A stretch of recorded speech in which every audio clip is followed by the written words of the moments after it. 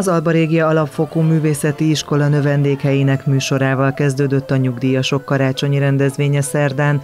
A szépkorúakat minden év végén köszönti a város, ám tavaly ebben az időszakban ez nem valósulhatott meg. Megtartottuk, csak nem karácsonykor, hanem tavasszal, amikor a, a pandémia szabályai már lehetővé tették, és az is nagyon-nagyon szép volt, sokan is voltak, de azért mégse olyan, mint az adventben megtartani karácsony ünnepségként ezt a kis találkozót, és hogy mennyire várták az emberek, azt szerintem jó látszik. Székesfehérvár országgyűlési képviselője is ellátogatott a zenés táncos eseményre.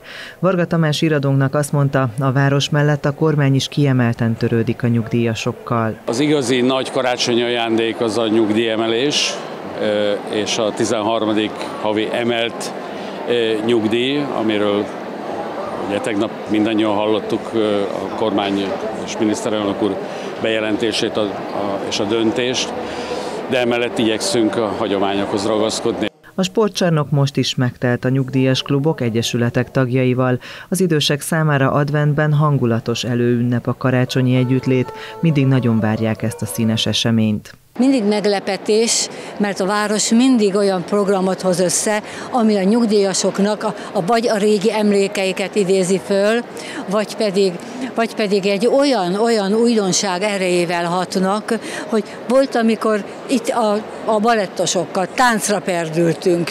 A hangulatos délután folyamán a néptáncosok mellett felléptek a Székesfehérvári Színház tagjai is, akik a nemrég bemutatott Cirkusz című darabból és a Diótörő című produkcióból hoztak részleteket, de a Főnix Ese fiataljai és Závodszki Noémi, valamint Tűzkő Sándor is szórakoztatta a szép számú közönséget.